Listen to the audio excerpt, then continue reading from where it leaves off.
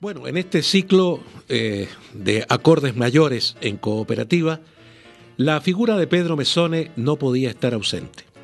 Ya hemos oído en la voz de David Ponce una apretada biografía de un cantante y digamos animador de 50 años de música chilena.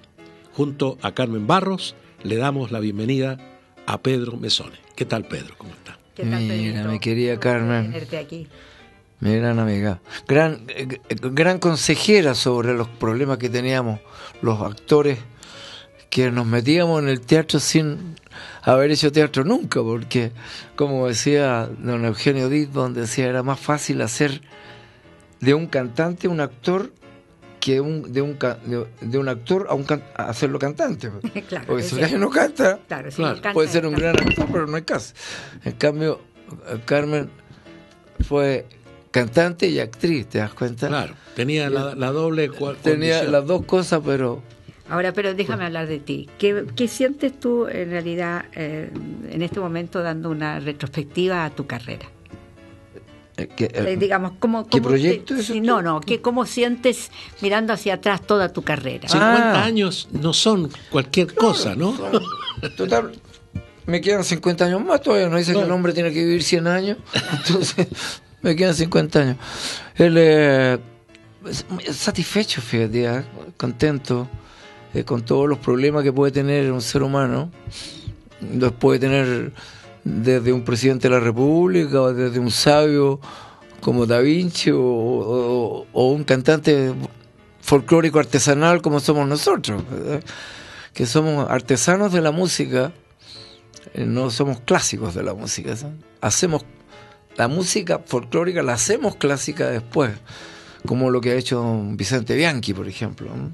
que tendría que ya merecerse el Premio Nacional de Música, y todavía no se lo dan.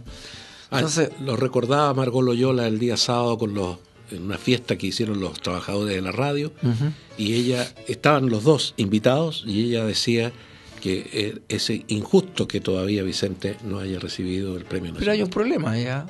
¿Sabes qué? ¿Quién elegiría al mejor actor de teatro?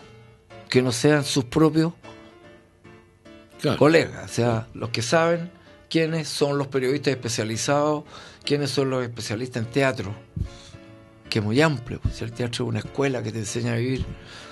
Y el, eh, y el ¿cómo se llama? Y, y en la música tendrían que ser músicos, no intelectuales de, de otra cosa, de, de- Claro, de otra hay mucho actividad, intelectual ahí en, el, en la, en la El comisión eh, definitiva, que la- la- que la- que el jurado finalista. Es que yo estoy de acuerdo contigo porque sé a dónde vas tú en esto. Pero yo, yo opto también por otra posibilidad. Yo diría más premios, perdóname. ¿Me ¿Mm? entiendes a lo que voy? Más premios. Más premios. Más premios, Sí. más premios, porque eh, ha- habían muchos otros nombres en este momento también en esto. Yo no estaba en Chile cuando esto sucedió, pero yo claro, a, a mí me hubiera encantado que hubiera sido Vicente Bianchi también. Lógico. Claro. Pero no, no, no desmerecían los otros, a eso es lo que me refiero. Entonces debiera haber cabida para todos. Eh, a ver, eh, Ahora- como es uno solo el premio, no lo vamos a cambiar nosotros. No, porque claro, digo la pero opinión, es que justamente que la parte como- como- competitiva es la que yo encuentro que está, digamos, errada. Yo creo que la competencia no cabe, porque así como tú ves en el cine, en el teatro, hay grandes actores. Tú no puedes eh, decir que este es mejor que el otro, son estupendos los dos y hacen cosas distintas o roles distintos. Yo creo que ahí es donde está el problema, que no puedes confundir un, un, eh, un- una música es una música, la otra música. Las dos son eh, brillantes. A, pro- espléndidas. a- a propósito de premios, yo creo que es bueno eh, iniciar este programa con Pedro Mesone contando que viene de recibir más que premios, homenajes y distinciones en el Festival de la Patagonia, allá en Punta Arenas, y en el Teatro Municipal de Santiago por estos 50 años de trayectoria que está celebrando. En Punta Arenas fue nombrado embajador de la Patagonia en el pasado mes de agosto. Y hace unos días, el domingo 23, fue homenajeado por el Sindicato de Folcloristas de Chile en el Teatro Municipal. Él tiene muchos otros premios, pero estas distinciones recientes son de una manera distinta, Pedro, ¿no? Claro. ¿Cómo las recibes? Mira, es tan distinta todo. Porque a ti te entregan una figura en un trofeo que puede significar qué sé yo, la gaviota ah, de Viña, que es una gaviota, porque en Viña hay gaviota, ¿no es cierto? A veces aquí en el Mapoche también hay. Bueno, eh, te entregan el, el, el, el ñandú en Punta Arena. El ñandú, ese animalito significativo, que así como la oveja, y el ovejero mismo, el hombre que identifica la región, no solamente a, la, a Punta Arena, es a toda la región de la Patagonia chilena o argentina. Claro. Pero este premio viene con la imagen de una figura que ha prestigiado a Chile y, después, de, después que se nos fue. Es una, un trofeo carísimo, pero más, más, más, lo que, más del costo es, lo, es el valor que tiene el trofeo, porque la imagen que viene es de Violeta Parra. El que te acaban de entregar. Claro.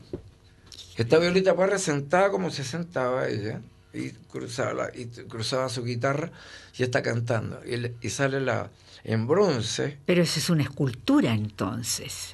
Es, una escultura en bronce. Claro, qué precioso. Es, ¿eh? una, fotografía de ella o qué sé yo, como la vieron cantar, así. Entonces... Eh, es muy emocionante. Mucho más que que la gaviota o que, el, o que muchos otros premios, ¿te das cuenta? Es ella, es, una persona que tú conociste, una persona que viste sus sentimientos, que fue una mujer consejera, que fue una mujer eh, criticona también, porque nos criticaba cosas y nos, y nos estimulaba cuando hacíamos algo bueno. Y por eso se contactó con nosotros muy fácilmente porque en esa época éramos todos veinteañeros, era la década de los veinteañeros hasta los, hasta los 30 años, todavía eres veinteañero, porque el que llega a 30 se quita un año siempre al final. Tengo 29 todavía y le dura como cuatro años. Entonces, bueno, y ella era una mujer de 42, 43 años, joven. Por ahí hablan, hablan le dan otro término a la mujer de de sobre los 40 años. Y, y, no, ahora los que, los que cumplen 50 años son los que tenían 30. ¿ah? Claro. Claro, así es. Porque así se... Y, Violeta tenía eh, una energía de, una muchacha. Primero que tenía mucha energía, era una mujer muy alegre, ¿por qué la han pintado tan triste? ¿Ah? no, no, no, no, no vivió nunca en la miseria, como lo hicieron en la película. Ella no vivió en la miseria, vivía en el campo todos los padres eran del campo y del campo aquí de la zona central. Y después se vinieron a vivir a Santiago y los hermanos Parra vivían en... ¿En, en, eh, en, la, Reina vivían por ahí? No, en, La Reina se fue la, la, Violeta, y el alcalde, que lleva el nombre de la calle Velasco, ¿eh? Eh, era amigo de, de, ella y, se conocieron por intermedio de Camilo Fernández. Entonces dijo, necesito un lugar donde y el alcalde le entregó en concesión una carpa, pero una carpa bonita, era una buena carpa. Y le dijo, mira, y aquí tienes hasta para vivir aquí adentro, le dijo, porque tenía las dependencias como carpa, y tenía dormitorio, li, comedor, cocina, tenía todo. En la no era mísera, mísera. La película sale lloviendo ahí, y la pobrecita. Y los muebles eran como muebles de estos de, de, de, pino quemado, sí. ¿ah? rústico, y la era de tierra así, porque esa era la gracia. Claro, ¿Ah? Pero estaba en Las Condes, y para llegar allá había que llegar en auto. Así que la gente que llegaba allá en esa época en auto era gente de muy buen nivel. Y se instaló allá arriba. Ahí vivía la Violeta. Y sus hijos vivían en Los Leones, con Bilbao. Barrio Alto también. Claro. Ni el presidente de la República vivía tan alto, pues, como decía Eduardo Frey, decía, yo vivo en el barrio alto, pero no tan alto como otro. Oye, tú estás recordando a, un alcalde que fue importante en la vida de la Violeta, porque cuando él fue rector de la Universidad Católica, yo creo que fue la primera vez que la academia, que la universidad eh, reconoció la calidad del arte de, Violeta Parra y fue Fernando Castillo Velasco el que hizo eso. ¿Cómo fue tu relación con Violeta? Eh, grande amigo. Es que ella venía de Francia con una onda francesa, Nosotros estábamos viviendo el año 60 en que la gente se daba la mano, se saludaba, pero jamás se daban un beso. Tú te acordarás que antes las la, la mujeres con el hombre no se besaban ni en la mejilla ni en ninguna parte. Se daban la mano nomás. Y si no lo conocía, bien, no le daban la mano nomás. No había contacto físico. Y la Violeta llegó en esa época en que saludaba a todo el mundo de beso en la cara. Oye, ya que llegó me dio un beso. ¿Y qué tiene que te dé un beso? Te está tratando como, como pariente, ¿ah? o como un hijo mayor, una cosa así. Ella era, en ese sentido, era muy tierna. ¿esto? Eh, como fue, como fue en, en, algunos momentos, era tenía su violencia también. Claro, claro.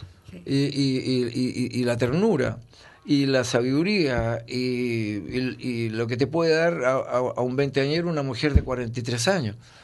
¿ah? Que estaba, eh, que tenía su, su situación sentimental eh, muy clara en, lo que se refiere a, al personaje que aparece en la película. Y, eh, y, con, y con nosotros en general se llevaba muy bien, con Patricio Más, conmigo. ¿Con quién no se llevaba muy bien? Era con el Víctor. Realmente no se llevaban bien. Todos dicen no eran grandes amigos.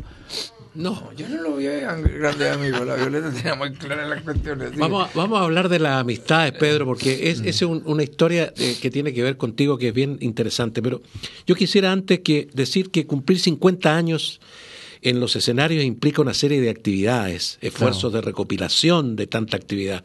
Y me estoy refiriendo a dos discos que son muy recomendables por lo demás.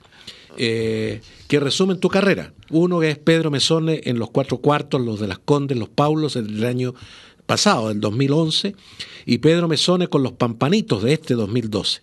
En ellos, tal como indican los títulos, está ordenada y desplegada la antología de tus canciones. Y es la música que en parte vamos a ir escuchando en esta conversación. ¿Cómo fue el ejercicio de hacer estas compilaciones y de escribir la historia de estos grupos en los que participaste? Bueno, partió... Eh, todo el puente de plata de todo esto fue la música. Yo cantaba en el coro de la católica, en el coro de, la Escuela de Pedagogía. Y ahí, eh, bueno, hicimos la música típica de los coros que había en esa época, era, todo, era la moda de los coros, los coros habían en todas partes. Y eh, y a mí me gustaba mucho el teatro, ¿eh? entonces yo me arrancaba cuando tenía tiempo, porque era vendedor de una gran compañía, y me iba a ver los ensayos en los teatros que se, que estaban montados, pedí permiso, puedo entrar, voy a hablar con tal persona, ah, ya pasa nomás. Y yo inventaba, no, me voy a, voy a, tengo una reunión con la señora Carmen Barro. Ah, y le, le avisó a ella, sí, sí me está esperando mira las patas, pues. ¿Y qué, pues? Yo ni me conocía, pues. me, sentaba en la última fila. ¿A quién le importa un gallo que se sienta por ahí? Debe ser de la gente, de los personajes que están en el ensayo, que mientras un, un, un, grupo ensaya, hay otro que está sentado en la platea mirando el ensayo. Así que yo me sentaba y me fui siendo amigo de, de, uno de los primeros amigos que me hice así, que le dije, mira las patas mías, fue Mario Montille y se reía, Pero él nomás, hombre, si a ti te gusta el teatro, entra, no me pregunta por mí. Me decía Mario, Monti. Em, y, así, hay Justugarte también, porque lo escuchábamos, el, el, gran teatro de la historia. Entonces, él, y también le dije, don Justo, yo, soy de Valparaíso, me gusta, me encanta el teatro. ¿Cómo puedo hacerlo? Para... Venga, usted nomás, pujón, siéntese ahí a mirar teatro. Ya, y, me fue siendo amigo de la gente del teatro ensayo. Pero yo estaba no yo, estaba, yo cantaba en el coro de la Católica. Más, más, que nada cantaba en el coro de la Católica porque las chiquillas que habían en el coro de la Católica eran tan re bonitas. bueno, entonces yo me quedé en ese coro. ¿Por qué? Porque primero cantamos en el coro experimental de Tito Lederman, que por un desafío dijo yo voy a montar la novena sinfonía de Beethoven con la Orquesta Sinfónica de Chile. Él era el primer violín de la Orquesta Sinfónica. Y él como primer violín, entonces entró en ese desafío, esos desafíos de café que se hacían en el Bosco. ¿Ah? Y ahí dijo, yo. ¿Cuá- ¿Cuánto? apuesto? Denme un año y yo tengo la, la, la- la novena sinfonía montada. Había que hacer un, un coro de más de 100 voces, porque no, no suena esta cuestión. Y, Y se montó. y habló con Barros, con eh, Barros Barros, que era director de coro, eh, hermano de la... Ah, con Barros Aldunate. Claro, Sí. Con, eran los otros Barros. Sí. Y él dirigía coro, entonces él le empezó a ayudar a armar el coro. Miguel, para- Miguel ¿cuántos Barros? Aldunate. Se necesitan más de 100 voces. Vamos buscando voces. Entonces eh, empezaron. En el norte se encargó a gente de- en el coro de la, de la Universidad de, de- de Antofagasta, en el sur Concepción, Valparaíso, la, la Católica de la Chile de allá. el, eh, y aquí en Santiago, los, los diferentes coros que habían en las organizaciones, incluso eh, en los sindicatos eh, obreros, armaban sus coros, en las organizaciones eh, estudiantiles también, habían los coros de los colegios. Entonces, fueron sacando voces. Y un día aparecen por el coro allá y empiezan a hacernos cantar. ¿Usted eh, lee música? Sí, le dije yo. No tenía idea. Lo que tenía era oreja nomás. Claro. Ah, Entonces, me pasan una partitura. Entonces el otro dijo, ah, esta es la parte de la, la coral. sí, sí, sí. de a ver, ¿cómo está? Tarararara. Ya, pesqué la melodía al tiro. Y como estaba la letra en español, así que me fui por la, Por la por la letra. melodía. Así que fui mirando la partitura y, y canté, pero cantamos en cuarteto, o sea, un bajo, un barítono, una contralto y una soprano, Claro. ¿no es cierto? Claro. Entonces yo canté como tenor. Listo. Primera prueba, segunda prueba, era eh, a otro grupo. Y Así como ya por eliminatoria, como por eliminatoria. Y después ya saquemos este tenor, lo vamos a juntar con el bajo de, de este otro grupo, que esos son los... Ya. Y ahí hicieron una selección del coro y yo quedé. Bueno, este, este, esta experiencia coral de, de Pedro eh, es la antesala de tu integración como primera voz de ese famoso conjunto Los Cuatro Cuartos. Los Cuatro Cuartos, Claro. con el que grabas el año 64 la canción de Pedro Mantz, Patricio Mándigo, Ah. Bandido. ¿Este es el primer disco tuyo grabado? Claro. ¿Y el primero de los Cuatro el Cuartos también? no fue el primer tema que grabamos. ya. Nosotros grabamos Mándame quitar la vida primero. Pero era del primer long play el de, primer long play, claro. de, de- de los Cuatro Cuartos. Eso fue muy divertido porque nosotros ya, ya éramos conocidos. Nos hicimos conocer en, en el show efervescente ya estaba en la Radio Corporación. Claro. En el, y cantábamos jingle. Porque del coro de la católica me pasé y me, me decían, ¿cómo te vaya a cantar jingle? Pues, el tremendo coro que está. Cantaste en la novena sinfonía y ahora voy a cantar jingle. Claro, cantaba jingle, pero ahí me pagaban. pues. Claro. Ah. Y en el coro no. Y en el coro, bueno, nada, pues entonces lo pasábamos re bien en el coro. Entonces ya pasé a ser profesional. O sea, ya nos empezaron a pagar y éramos un cuarteto. Era el Chino Urquidi, era eh, Raúl Conejo Morales, era Nano Torti y yo. Esos fueron los primeros cuatro cuartos, por eso nos llamaban los cuatro cuartos. Claro, porque después fue un quinteto. Después integró el- la segunda formación Carlos Jorge Videla, y ahí ya fuimos cinco, para ampliar y proteger más la canción con un coro. Claro. Era, era- eran cuatro voces que acompañaban a un solista. Pero los cuartos tenían esa ventaja que no tenía un solista nomás. Por ejemplo, te coloco, los grupos en general tienen la solista y, y no tienen más. Claro. eh, la primera voz y solista. Sí. Los cuatro cuartos teníamos primera voz y solista, segunda voz, solista, eran todos solistas. Todos tuvieron eh, un, un solo en canciones, como Juan Payé, por ejemplo, que la cantaba Nano Torti, el bajo. Claro. Eh, eh, eh, ¿Cómo se llama? Eh, eh, eh, el bandido, que la cantó el chino Urquí conmigo, a dúo, pero el coro de los tres que quedaban nos, nos acompañó en la interpretación misma del tema, de la temática del- de la canción. Y por el otro lado, eh, Carlos Jorge Videla cantó El Negro Cachimbo. O sea, era un conjunto que tenía cuatro solistas, siendo cinco. Claro, Porque Willy Acuñán no cantaba mucho. claro. Entonces el chino decía, no, este no le demos solista. No, no canta- no le- es un gran compositor, Era, potenció al grupo arriba del escenario porque tenía muy buena pinta. sí, claro. Se subía al escenario y las lolas se les caían hasta y, y ahí entonces eh, eh, eh, quedó como compositor y, tocaba muy bien la guitarra, sobre todo los valses peruanos. Ah, le gustaba mucho la música peruana. Entonces él punteaba muy bien, tocaba muy bien la guitarra y por eso quedó. Y ese quinteto fue el que graba Bandido. Ese es el quinteto que, definitivamente graba Bandido. De, Patricio Mans. Y Patricio Mans, claro. Sí. Eh, me acuerdo que estábamos en el radio Almacea, en el auditorium. Entonces nos tocaba a nosotros, ponte tú 10 minutos más. Te iban avisando. Entonces, para hacer eh, la espera, nos quedamos en el pasillo y nos sentamos en la escala que, estaba para, que iba para el, el resto del edificio. Y nos quedamos sentados ahí nos sentamos en el suelo y empezamos a conversar, pero ya estábamos callados ya.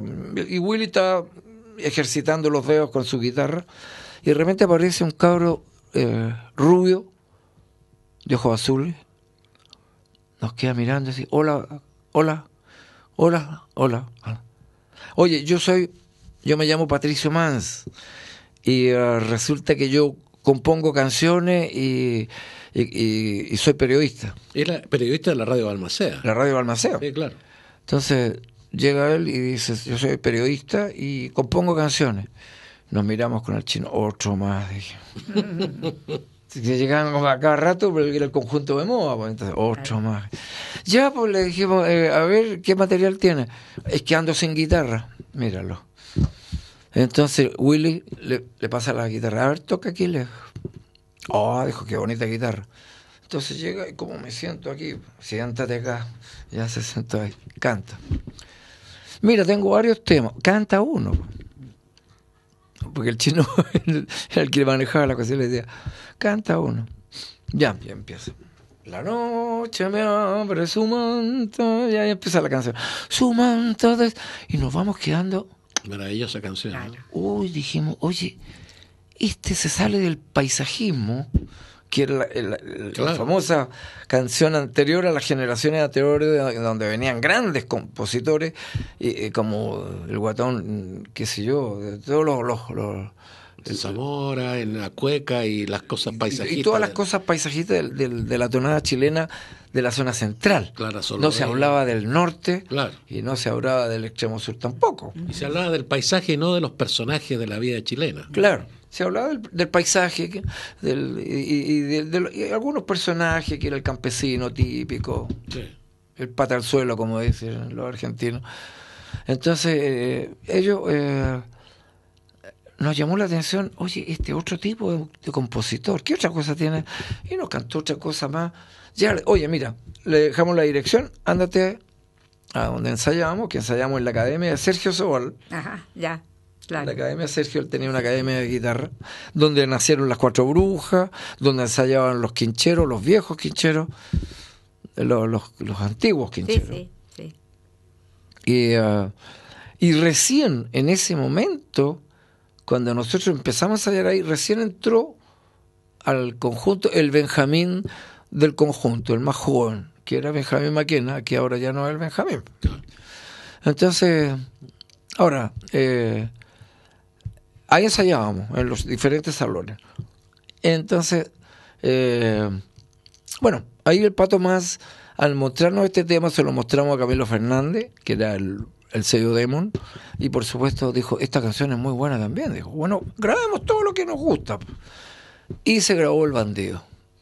Bueno, en estos acordes mayores vamos a irnos a una obra que ha sido histórica también en nuestro país y tenemos aquí a dos pergoleros, porque en distintas etapas de La Pérgola de las Flores, que es a la obra a la que hacemos referencia, tanto Carmen Barros como Pedro Mesone formaron parte del elenco eh, y curiosamente nunca llegaron a ser pareja en el escenario, pero pudieron haberlo sido porque eran Carmen la, la, Carmela, de San Rosendo y Pedro el Tomasito. El Tomasito. ¿Por qué no nos hablan de, de, la experiencia que tuvieron ustedes? bueno, yo era un admirador de la Carmen porque eh, la, la, voz de soprano se parecía mucho a la voz de mi mamá. Mi mamá era una gran soprano ¿eh? y tocaba el piano, muy bonito ella, y tocaba el arpa y la guitarra. y la tocaba, la sabía todo. Porque era la época en que en los campos, mi papá era de, de Curacautín, Temuco, y, entonces la hora de la, de la después de la comida, se, después venía la tertulia, ya Anita toca el piano y empezaba a cantar ella. Bueno, y al oír cantar a la Carmen me acordaba de mi mamá. Y, en la casa escuchaba una, normalmente había pura música clásica, ah, porque a ella le encantaba la música clásica y las voces de soprano. Entonces, eh, yo miré con mucha eh, me encantó la pérgola. Ni pensé yo nunca que iba a integrar la pérgola de la flores, porque me iban a llamar. Jamás. Antes de ser cuatro cuartos. Y, eh, y la fui a ver y vi y quedé encantado con esa obra cuando la dieron en el Camilo Enrique, ¿te acuerdas?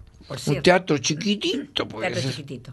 Era chiquitito y era muy fácil, eh, diría yo, para los actores poder llegar hasta la última fila, porque en esa época no había micrófono, no había amplificación, no la voz del, del actor tenía que llegar hasta la última fila y escucharse clarito. Entonces ellos tenían una técnica muy especial. Uno no se imagina incluso cómo ahora no... Yo ya no podría cantar sin micrófono, obviamente. Ya, ya no, ya, claro. la costumbre, ¿no? Pero lo que dice Pedro es cierto. Nosotros estrenamos el 60, pero después vino la pérgola del 64. Y ahí es donde eh, eh, eh, yo te tengo que decir a ti, tú hiciste el Tomasito y nunca pudimos, eh, yo no fui a esa pérgola, en realidad eh, yo quería ya seguir en otra cosa, no lo puedo negar, me dio mucha pena después haberme enterado de que fue tan exitoso, todo eso fue mm. muy bueno me alegré mucho por la Gaby, porque además es excelente actriz la Gaby Hernández, que hizo la Carmela. Pero lo que sí, y esto es eh, una novedad para mucha gente, ¿no es cierto, Pedrito? Cada vez que nos hemos encontrado, siempre entonamos por ahí el campo eh, lindo, ¿sí eh, o no? Siempre.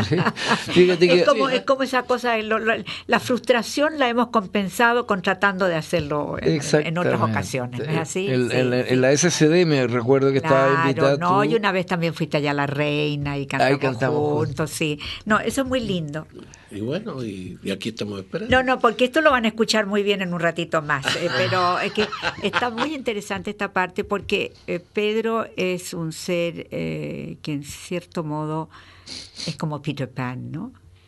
Es Peter Pan, es lo más Peter Pan del mundo, él es un niño.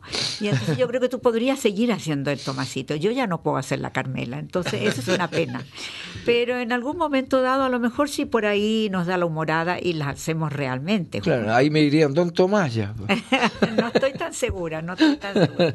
Porque quien lo vea Pedro, él, eh, Pedro tiene su cara de niño como siempre, ¿no? Así es. Y cuando hablaste delante de la formación de los cuatro cuartos, que eran todos, que era el Willy Bascuñán el que arrasaba con las, con las niñas, tú también. Eh, bueno, no sé, el chino también tenía un arrastre extraordinario, y Carlos Jorge Iván. Pero lo de la pérgola es interesante porque eh, Pedro fue un muy buen Tomasito y fue muy muy aplaudido tú, Tomasito, porque tú lo seguiste haciendo. perdón que me, interrumpa este diálogo de ustedes, que es súper interesante escucharlo, pero tú dejas los cuatro cuartos para integrarte a la pérgola de las flores cuando van a México. Es que no, no fue así tan fácil, no, claro. Los cuatro cuartos estábamos en el mejor de los éxitos. Yo diría que el número más caro que había en Chile y el mejor pagado y el más cotizado era, era, eran los Ramblers Luis Dima y sus Twister y nosotros. Ya. Un día nos juntaron en una gira y fue un desastre para los teatros, porque lo había la gente. Era, claro. Claro, era demasiado era demasiada mermelada. Era demasiado. Y, y, claro, y, todavía no habían grandes teatros, eran los cines antiguos, ah, que no tenían ni siquiera camarines, porque no había parte de atrás como los teatros. Claro. Estaba el ecrán y corría la cortina y empezaba la película y detrás había estaban los parlantes y no había más, así que los artistas no tenían dónde vestirse. Llegábamos a la gira en unas micro, nos que teníamos que cambiar en la micro. Y, y bueno, era, una aventura eso. Pero yo me, me llegué a la, a la, a la pérgola porque por esto que les contaba al principio, me iba a los ensayos a mirar a los actores. Y entonces cuando empezaron a, preparar la pérgola, yo iba al Camilo Enrique a mirar y yo por lo leaba en esa época con una niñita muy bonita que eh, tenía un programa juvenil con Poncho Pérez en la radio Minería que se llamaba La Maggi. La Maggi Campos. La, Entonces, estábamos... la, que cantó, grabó. La que cantó, claro. Ah, era por una Entonces estábamos pololeando. Y yo iba al teatro y ella estaba montando una obra que se llamaba El Bullicer, de Guzmán. Perfecto. Entonces, eh, yo iba para allá y me hice muy amigo del autor, chiquitito peladito que era muy simpático. Y, eh, y claro, y yo iba a, buscar a mi polola eh, y, ahí conocí un montón de actores. Entonces yo miraba cómo estaban haciendo eso y me hice muy amigo de don Eugenio de Ivón y del, Flaco Colina. ¿Ah? Y, y yo le decía, oye, pero ¿por qué el, Tomás que están preparando no hace, como dando opinión, yo, yo, una opinión, ya me empecé a ser amigo de ellos, y, sobre todo porque llegué a buscar mi polola. Y, cuando estrenaron el Bullicer, yo estaba ahí mirando a mi polola como actuaba en el Bullicer. Así que compartí después hasta los cócteles, estaba pechando. Llegaba un cóctel y allá estaba yo también metido, ya, pero era parte del, del, elenco. ¿ah? Entonces, bueno, ellos subieron, sabían del éxito de los cuatro cuartos y sabían cómo cantaba yo porque hacía la primera vez y cuántas canciones hicieron éxito, como Amarradito, como Qué bonita va y los resultados de los festivales, era grandioso el nombre del grupo y, de, individualmente también ya nos empezó a conocer la gente, ya, ya, ya la gente nos, eh, era como los Beatles, ¿verdad? cada cual estaban individualizados. Claro, ya estaban individualizados cada uno, ya, ya, ya, tenían sus propias luces propias. Es así. Entonces, un día X Eugenio Guzmán. lanza esta frase don, don Eugenio Viva, dijo, hay que hacer, para ir al país de los, de los cantantes, que era México, porque cuando fuimos a España tuvimos que llevar cantantes. ¿eh?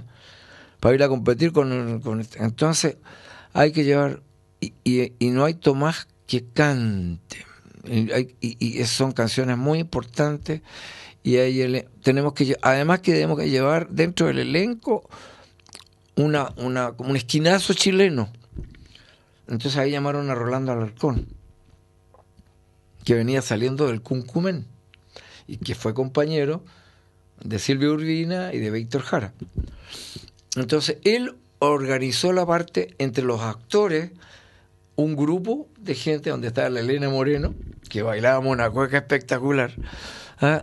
y uh, Archibaldo Larena, mira que me estoy acordando de, todos mis amigos. Entonces, Julita Po. Claro, la Julita Po hacía La Mujer de Rojo. Y bueno, y, todo ese grupo yo me hice muy amigo de ellos. No sé si les caería yo muy bien, pero a mí me caían muy bien. Y esa fue la primera vez que actuaste. Y esa vez. actor. Claro, y esa vez, entonces llega y dice: A ver, sube, ¿cómo haría el sumacito? Dentro de la broma. Y yo empecé, y me moví, hice un movimiento, ocupé escenario. Colina me dice: Ocupa el escenario entero, es chico, así que aproveche. Así que no le estés cantando ahí, sino que muévete. Muévete para allá.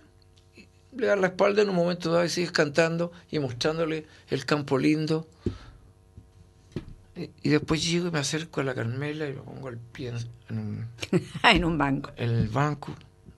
Y le digo, ¿ves? Todo esto que está aquí en medio, como bien dice. Le está metiendo la pomada, pues esa es la historia. Pues, a ver si le resultaba. Pues, y, eh, y dijo, sí, después, ya no comentó mucho porque un director por lo general son como los entrenadores, ¿eh? ellos guardan primero en qué momento puede hacer. Así que yo seguía yendo al teatro y yo seguía en los cuatro cuartos. Y en los cuatro cuartos teníamos un tremendo éxito. Caupolicán que había allá, por un llenábamos entre la Cecilia y los cuatro cuartos y los, como les nombraba a mis otros colegas, se llenaba el Capulicán con cuatro artistas. Y toda la gente iba a ver esto. Entonces se fue paralelamente esto juntando, ¿eh? hasta que un día Fernando Colina me topo con él a donde está el Ministerio de Defensa, a donde está Carabinero de Chile. A una cuadra de ahí, a, a, una cuadra. Y me topo con Colina que venía caminando para acá. Oye, me dijo,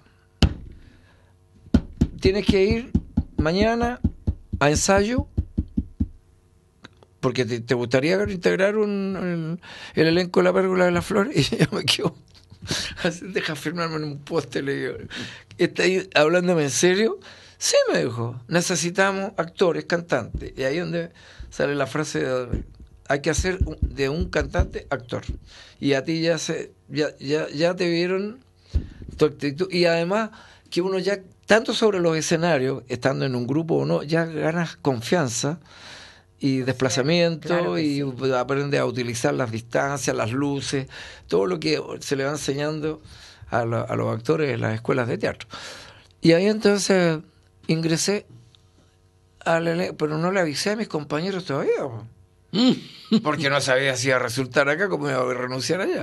Así que seguimos cantando y seguía ensayando y seguíamos actuando por aquí y seguíamos ensayando por ahí. Oye, los ensayos de teatro no son los ensayos de... Era para terminar muerto. ¿Ah? claro, cuando te toca la, acción es para, corte, a ver de nuevo, veamos eso, y, así era, don Eugenio era... Y, el flaco Colina, que eran los dos directores muy exigentes, por supuesto, porque íbamos a un país de artistas latinos, México era lo, número uno en, en América. Así que eh, Así fue que lamentablemente yo no fui. No me resultó, lo que me empezó a traicionar fue la, garganta. Era mucho trajín, mucho ensayo aquí, mucho ensayo allá, y el ensayo del teatro te obligaba a hablar fuerte. Claro. Carmen se da cuenta de eso porque había que tener voz para cantar y había que tener voz para, para eh, darte a entender como actor del, del, texto que te, correspondía. Y definitivamente entonces tú tuviste que optar. Entonces, claro, entonces le digo al chino, mira, pasa esto. Mi todo son ustedes, le dije. Mi todo son los cuatro cuartos. Si, si nos está yendo bien, estamos ganando toda la plata del mundo, pero mi sueño es la pérgola de las flores. Ustedes son mi todo, pero el teatro de ensayo es mi sueño. Y, voy a tener que optar por una de las dos cosas. Ah, no, pues, no nos podéis dejar votado, no, no, no. Entonces, no, pues, ¿qué vamos a hacer? Entonces hay que buscar un reemplazante. Y ahí entonces se buscó a Sergio Lillo. ¿Quién te reemplazó? Que me reemplazó con ventaja, porque yo encuentro que Sergio potenció mucho el conjunto y, y fue más disciplinado que yo, porque porque anda disparando para todos lados. Ah, y nunca canté una canción igual a la otra porque fraseaba distinto, de repente lo sacaba de la cuadratura donde iba la armonía. Y Sergio era, pero disciplinadísimo, qué sé yo, eh, en, eso. Así que quedó como un gran... Y él me escribe después a México, eh, chino, tengo la carta que va en el disco, que le dejé a la radio, donde me dice, Sergio, se está... Eh, eh, poniendo la camiseta, como quien dice, este, este es el, el, ya logró el objetivo, ya sabe lo que es y la responsabilidad que tiene sobre este grupo. Y, se despide de ti, disfruta tu viaje, aprende para que llegue a enseñarnos a nosotros lo que has visto en un país de artistas. Y ahí es donde te tocó cantar El Campo Lindo con la Gaby Hernández justamente. Pero también lo cantó después en la televisión. Sí, porque hubo una versión de la televisión. con Hugo Miller. Con, eh, que la dirigió Hugo Miller. Yo no vivía en Chile en ese momento y entonces lo tomó la Pilar Reinaldos. Claro. Estaba en una pausa de los guasos quincheros. Sobal tenía una canción que ni los cuatro cuartos ni los quincheros habían querido grabar. Como él contaba, en su cabeza sonaba una manera de hacer música distinta a la que hacían los guasos quincheros. Y Ahí estaba esa canción El Corralero. Esa sumatoria de hechos fue el origen de los de las Condes entre el 64 y 65, Pedro. Entre el 64 y 65. O sea, tú venías de regreso de México. Eh, claro, claro. Eh, pero que esto pasó antes, ¿ah? eh, cuando, cuando, se preparaba la pérgola de las flores, que fue a fines del 64, porque yo en la revista Discomanía incluso salgo en la portada con los cuatro cuartos, y se habla ahí de la, del, del 19 eh, de agosto del año 64, agosto. vino septiembre, terminamos con septiembre con todos los eventos que había, que estábamos comprometidos, los cuatro cuartos, y en, y en noviembre ya no aguantó más la cosa, se empezaba a preparar la pérgola, ya empezaban los ensayos y los cuatro cuartos ya, iban en, en, franca, en franco ascenso. ¿eh? Entonces no, no había tiempo de... había que decidirse. Y, y el chino eh, dice, no, aquí no hay nada que hacer, pues te tienes que ir nomás. Pues. Así que hay que buscar un, un solista. Y, eh, y fueron, y fue Pilar Larraín quien llamó, creo que a Willy y al chino, que eran muy amigos, y, y le dice, eh, mira, hay un muchacho que viene a la radio y que canta muy bonito, y imita perfecto a Antonio Prieto, canta los boleros de Antonio Prieto, pero como si fuera Antonio Prieto. Entonces el chino la Pau Urraga fue la que le dice. La Pau Urraga le dice, ¿qué te parece que me encanta? Y, y canta igual. Bueno, pues si, si imita igual a Antonio Prieto o a Lucho Gatica, también va a poder imitar al Pedro. Así que... Qué bueno. Entonces hay que llamarlo. Y lo llaman y lo llevan al ensayo y bueno, resultó de inmediato porque él es muy afinado y como te digo, muy disciplinado en ese sentido. Así que rápidamente se adoptó, se adaptó al, al grupo.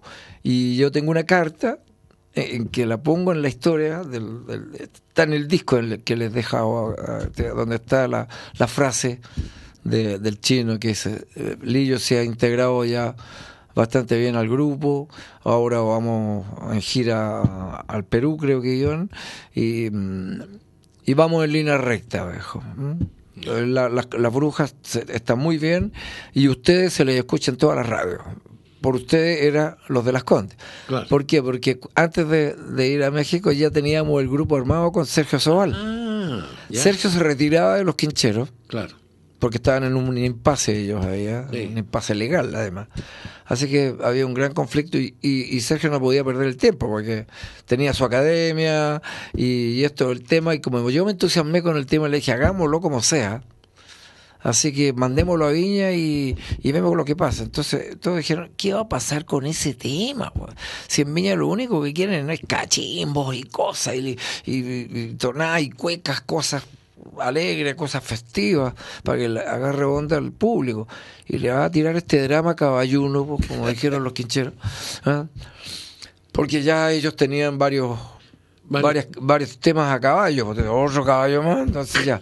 Y los cuatro cuartos, el chino la escuchó y dijo, sí, es una bonita canción, pero no es para nosotros, no, no es el estilo de lo que nosotros queremos, o por lo menos lo que yo quiero darle al sonido que le quiero dar a los cuatro cuartos. Así que, entonces le dije, Sergio, ni tú allá con los quincheros, ni yo acá con los cuartos. Ya cuando se produjo ya el, la separación, que mira que mira la coincidencia. Pues. Entonces yo me voy como un mes, un mes o dos meses, claro. Eh, como en noviembre, ya empezamos los ensayos a todo con la, pérgola. Con la pérgola. Y, y Sergio nos juntábamos todos los días en la academia y empezamos a ver el tema.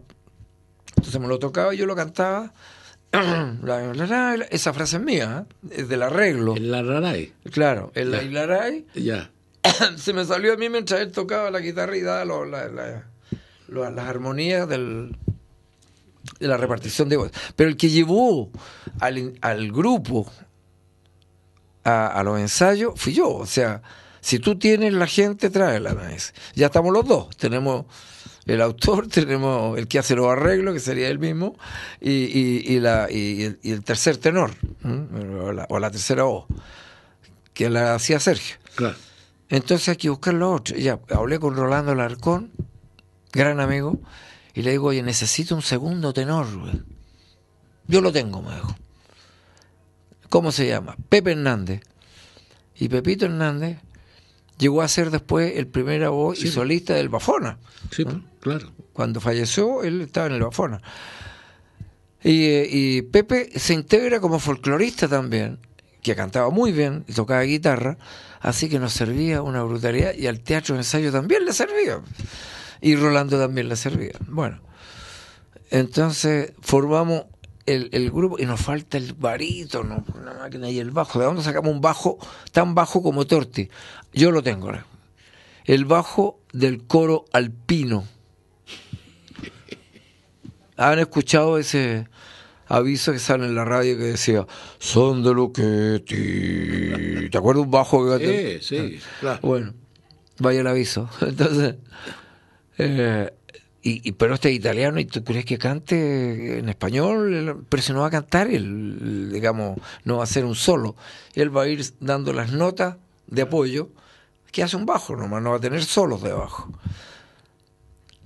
aprenderá, ya, ya, tráelo. Y el otro, y me acuerdo de Lederman, el hijo de Tito Lederman, con el que había cantado yo la novena sinfonía hacía cinco años, seis años atrás. Entonces llego con Renato y Renato cantaba pero, muy bien, era un afinadísimo y tenía muy buen tono de, de barítono.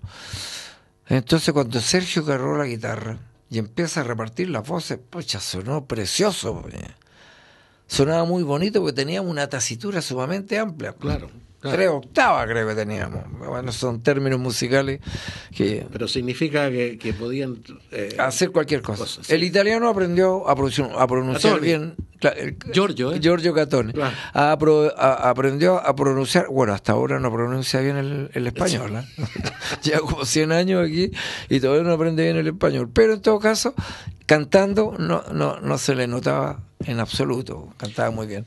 Y así hicimos entonces... El Corralero. El Corralero y nació el Corralero y fue la canción del año. Fue no solamente ese año, sino que hasta ahora la gente la pide cuando si no canto el Corralero yo me, me, matan. Entonces, Así es. Y, y, la canta el público. Yo, yo de repente canto la primera nota y, ya está cantando el público. No, es una canción querida por la gente. Claro, pero como digo yo, Pasa el tiempo y ya van 50 años prácticamente. Eh, esa la grabamos, tendría 48 años ahora, ¿eh? Eh, que la estaba cantando y se hizo muy popular y, se tocó en muchas partes, ganó el Festival de Cosquín, fíjate, en Argentina. Y esa canción, y después, no me acuerdo, porque me acuerdo que Sergio se fue a Punta Arena porque se casó con una niña de, de Punta Arena. Allá se dedicó a la radio, trabajó en la radio minería, creo, allá, y tenía un programa muy especial también. Y se quedó ocho años allá. Y después volvió, y cuando volvió, ya los quincheros se habían reorganizado. Y lo integraron. Ah, y lo integraron al grupo una vez que llegó él. Bueno, cuando volvió Sergio a los quincheros, ahí recién los quincheros empezaron a cantar el corralero. Varios años después. la que habían despreciado. Claro lo que bueno lo, lo hacen a su estilo y lo hace muy bien a su estilo. Y como digo yo siempre la canción ya no le pertenece ni al autor ni al intérprete original. Le pertenece al que la necesita. Te das cuenta y entonces se cantó en muchos países. Ellos creo que la cantaron hasta en ruso. Pero acaba en el programa, en el programa de ayer ¿Sí? de Sergio Soal, él la cantó a capela en ruso. En ruso, claro. Entera. Claro. Es una cosa increíble. Claro. Oye, pero Pedro, tú formaste aparte de, los Paulos, de, perdón, de, los de las Condes a los Paulos, sí. los Pampanitos, y, fueron eh, conjuntos de mucho éxito que bueno los Pampanitos eran un grupo de acompañamiento de acompañamiento era, un trío hacíamos un trío en el fondo porque Carlos Barrio Villadiego Sí, pues. fue después, cantaba muy bonito, era muy afinado y sabe mucho de música, es un gallo, es muy artista, ¿verdad? Es pintor, escritor, compone canciones muy bonitas. En el disco mío vienen varias canciones de él, en el último que va a salir, que, está, que ya salió ya. Y, y él se cambió el nombre, se puso Villadiego porque Carlos Barrio lo relacionaba con el Lucho Barrio y el otro, entonces dijo, no, me pongo Villadiego. Hay muchos barrios. Hay demasiados barrios. Entonces cantó él el, en, Los Pampanitos 1, porque yo armé dos grupos. Después de Los Pampanitos 1, Carlito empezó a cantar solo. Claro. Porque la RCA Víctor se dio cuenta De la que era un potencial en eso. Y a mí me acuerdo que llegó Jaime Atre un día en la mañana, como a las 9 de la mañana, o a las 8 de la mañana a mi casa, que eso era un crimen, porque en esa época vivíamos en Las Peñas y llegábamos a la casa a las 6 de la mañana, así que imagínate, todos los días metido en Las Peñas cantando. Entonces, eh, me, me trae un tema y me canta, se sentó en la cama con su guitarra, Jaime Atre, y me canta, en mi patria una violeta, cantando se vino, cantando se fue. ¿Te acuerdas? Sí. Yo le dije, qué hermosa canción, me la tienes que ir a defender a Viña. No puedo. Pero ¿cómo que no? No, porque estamos haciendo una película con, con Álvarez, con Alejo Álvarez. Alejo. Estamos en Limache eh, y se está haciendo la película El, El Afuerino. Así que prácticamente imposible. Pero ¿cómo se podía ir a cantar al festival y después ir a filmar? No, estar loco, le digo, si la programación de una película... Es eh, eh, eh, riguroso eso. Claro, rigurosa. Y, y en la noche se graban los interiores, en las- eh, con, con iluminación y todo eso se hacen la- las, la- las, las tomas de interiores. Y los exteriores se graban de tal hora a tal hora según las horas de sol. Así que es una complicación. No, yo no puedo, no, no podría, porque estoy rompiendo un contrato. Y además que Alejo era muy amigo mío también. Casi todos los directores que tuve yo terminaron siendo, terminamos siendo grandes amigos. Que es la mejor forma de aprender. pues. Eh, Esa es la pedagogía. No, y esa es una cualidad tuya de establecer vínculos de amistad con la gente. Claro. Bueno, y eso es más o menos la historia del, del corralero, de Sergio Sobal conmigo, eh, Y- y el trabajo que hicimos en esa y, y- y la amistad que nos une hasta hasta ahora. pues. Y, y esa canción de, de Jaime Atria finalmente la hizo Villadiego. Claro, la, can- La cantó no, la cantó Villadiego Claro. con gran éxito y la descalificaron en Viña injustamente. Ah, sí, me acuerdo. que dijeron que se parecía a Dios Santiago querido. Sí. No tiene por dónde. Así es. Sí, Bueno. realmente. Por eso fue una maniobra que voy a acusar al sello, pero no al personaje, sino que el sello Philip fue quien fue el que intervino en el cuento y algunos directores Apoyarnos. Apoyaron eso y hicieron la maniobra de buscar la forma de que no ganara y que fuera ah, eh, acusada de plagio. Sin embargo, la canción, no, como tú lo dices, no tenía nada que ver y fue un éxito posteriormente. Claro. A pesar de eso. La que ganó también fue un éxito. Fue la... La torcasita que La canta Torcasita nuestra querida Gineta Acevedo. Yen- eh, Gineta Acevedo. Bueno, Y a las dos canciones quedaron en la historia sí, pues. y, y son las que se tocan por sus intérpretes originales. Tú has grabado canciones como El Ovejero, que es casi un himno de Punta Arenas. Lo vimos ahí cuando lo cantaste en ese escenario. El Solitario, La Tejedora. Son personajes que, que al- a los que das vida a través de la música. ¿Es una coincidencia o te atrae a ti la idea de interpretar personajes de la vida? Esa es la realidad. sí, ¿eh? Yo le canto a Chile y a su gente. Entonces usted tiene que, que- que darle eh, la importancia al personaje en el, del lugar donde vive y de qué vive y para qué vive. ¿eh? Y eso hace un chileno que, que defiende su región, porque somos un país tan largo. Pues, ¿eh? Claro. Si somos un milagro. eh. Este país con, que, que mide 5.000 kilómetros de... Atravesamos Estados Unidos, o si lo sacamos, Sí, sí. atravesamos Estados Unidos. Y, y, y tenemos 3 metros de ancho. ¿ah? Entonces, eh, es un milagro que, lo- que los patagones hablen igual que los que viven en Arica o en Pispiri. Sencillamente hablan con un acentito distinto un poquito, pero la intención y la forma de, de- de atacar el sonido del, del- del chileno hablando de, de nosotros, el pueblo, Eh, Claro. eh, es el milagro. Porque tú ves en otros países, en el mismo Argentina, la gente del sur de Argentina habla, pero totalmente a los entrerrianos, por ejemplo, Claro. de, de- la zona del Plata. Y el de Buenos Aires habla distinto el de San Juan, y tienen otros acentos. Y, y ni hablar de los brasileros. Yo no tengo idea del portugués, pero se nota que hablan distinto. Por lo menos los futbolistas se entienden. Y hablemos de personajes de carne y hueso. Eh, tú te, has referido siempre, eh, no, no en este lo has mencionado en este programa, pero alguna vez lo conversamos con un cariño entrañable por una gran figura de la música que fue Rolando Alarcón. Sí, sí. tuvieron una amistad muy linda ustedes. Eh, que Rolando entendió el cuento, pues. Cuando eh, le decíamos nosotros después de la gira que hicimos al sur, con los cuatro cuartos. Eh, de esa gira, cuando llegamos a la Patagonia, eh, ahí, iba la Violeta, iba René Largofaría, iba Rolando. Yo le dije, aquí hay que buscar la forma de cantarle a la gente de esta región, o la de otra, o la de qué sé yo. Y cuando llegamos a Chiloé, ahí Rolando dijo, aquí están las periconas, están las cirillas que vienen de origen español. La, cirilla viene de la seguidilla. ¿ah? y, la pericona viene directamente de la jota. ¿ah? Y acuérdate que, el dominio español, el, último eslabón que les quedaba fue Chiloé. Así es. ¿Mm? Lo dice el himno de Chiloé. Claro. Eh, de Chiloé y Valdivia y Chiloé. Pero Chiloé fue el, último en resistir y se dieron cuenta los españoles que vivieron ahí que ya tenían hijos nacidos ahí, que eran criollos, eh, tenían sus, casas organizadas, su sistema de vida organizado. Entonces están defendiendo al rey, le dice, si el rey lo tiene preso Napoleón.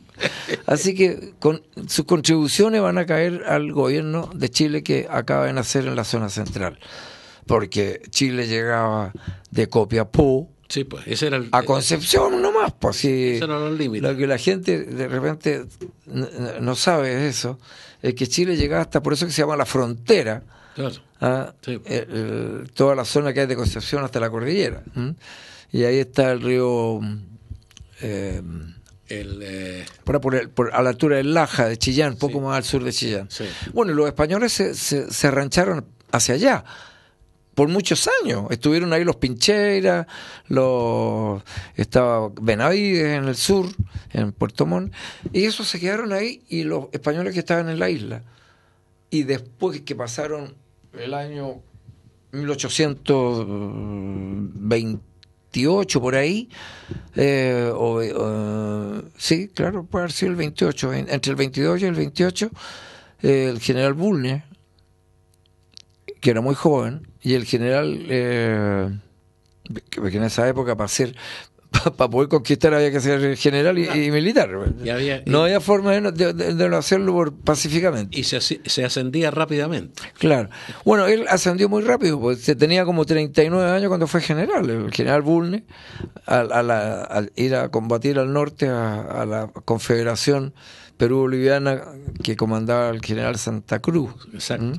Y en el sur eh, pasar por entre medio de los mapuches, que ese era el otro cuento. Pasar por, por, el, por el mundo mapuche y, y, llegar a los, a los españoles que se habían asociado con los, con los mapuches. Así es. Ah, después de ser dominado por 300 años, pues se asocian. Mira qué cosa más divertida. Y, y, los pincheras, bueno, tenían con eso y asaltaban los fundos. Los bandidos eran. Claro, ¿Ah? asaltaban todo y se robaban las mujeres. Y la gente eso lo encuentra muy choro, mucha que choro. Oye, le robaban las mujeres, se violaban las mujeres, se las llevaban, mataban a los hombres y se llevaban todas las mujeres hacia la cordillera. ¿eh? y Benavides hacía cosas peores. Entonces, ese recuerdo que quedó tan negro del, del, de la conquista española la, vino a, se vino a cambiar ya con el aporte de la colonia española que organizaron los criollos, descendientes de españoles, y la inmigración que llegó eh, posteriormente de España. Entonces llegó otra gente. No venía esta gente que venía a combatir y a sobrevivir como fuera. Pues. Entonces comprenderás que un soldado que tiene 22 años o 18 años pues, y anda tres, cuatro, cinco, seis meses sin ver una mujer, ¿qué es lo que hace? ¿Ah? Y eso es lo que pasó, así se hizo la, la mezcla en, en, la zona de la Araucanía. Oye, Pedro, eh, eh, aparte de Rolando Alarcón, eh, tú también tuviste contacto con Víctor Jara. Y, entiendo que tú grabaste antes que él ese tema tan famoso que se llama El ah, cigarrito. ¿Sí? ¿Es así? Claro, es que él generosamente, me recuerdo el, del diálogo que tuvimos en, en Iquique, en el aeropuerto. Y yo le pregunté mientras esperábamos la hora del vuelo, y le dije, oye, esa canción que cantaste estos días, porque no la cantó al tiro en la gira. Y él iba en la gira y era muy amigo de René. Entonces, y él venía del Cuncumén. El Cuncumén era un grupo ya conocidísimo. Claro. Y de ahí venía Rolando Larcón y la Silvia Urbina también. Entonces, y la cantó varias veces y me gustó tanto la, la línea melódica y la letra. Y le dije yo, oye, ¿y este tema tú no lo, lo vas a grabar? No, me dijo, porque no tengo sello todavía. Estamos hablando del año 66, fíjate. ¿eh? Yo ya estaba grabando solo. Y todavía eh, eh, Víctor. todavía no, grababa. Él cantaba, ya lo conoció, se, se dio a conocer muy rápidamente. Era una época en que se podía dar a conocer con sus canciones mensajes, ¿ah? canciones sociales, canciones de denuncia también. Y entonces esta canción quedó como una canción muy romántica, me gustó mucho. Y cántala tú, me dijo, yo no, la voy a, no, la voy a cantar todavía, Después la grabo. O sea, te la, te la pasó. Me la pasó. ¿Y, tú la grabaste? Eh, yo la que la grabé y, la grabación que quedó se tocó en su momento, pero no fue el impacto que tuvo el, el ovejero, ni el solitario, ni el corralero, ni Pamar Adentro, ni qué sé yo. Eh, pero fue una canción que tuvo su momento. Y bueno, después con la muerte de, Víctor, todas sus canciones salieron a flote y ahora se hablan con la voz de él. Claro. Y eso tiene mucho más valor, que es el cantautor que la, la interpreta.